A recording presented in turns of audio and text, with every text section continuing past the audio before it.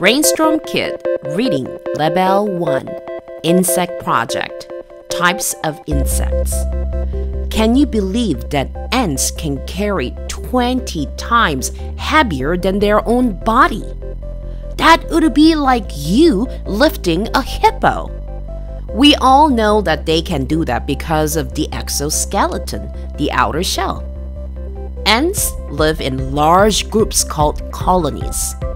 One colony can have millions of ants. There are three kinds of ants in a colony. They are the queen, female workers, and male ants called drones. These female workers have different jobs. Some of them take care of queens and eggs, some carry food, and some protect their colony. Then, how do they talk or communicate with each other?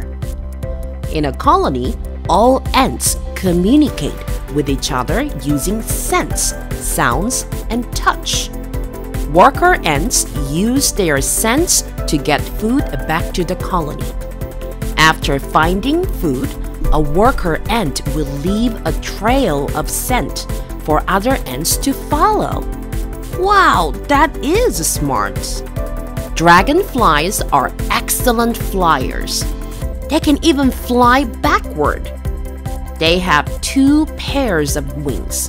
The front wings are usually a little narrower than the back wings. Because they can fly very well, they are one of the best hunters on earth. They almost always catch their food. Did you know that a dragonfly spends most of its life underwater? I didn't know that. A dragonfly's life starts as an egg underwater.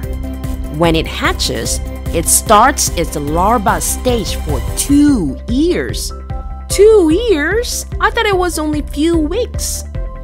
We call them nymph. One fun fact when food swims near them, they use their lower jaw to catch their food.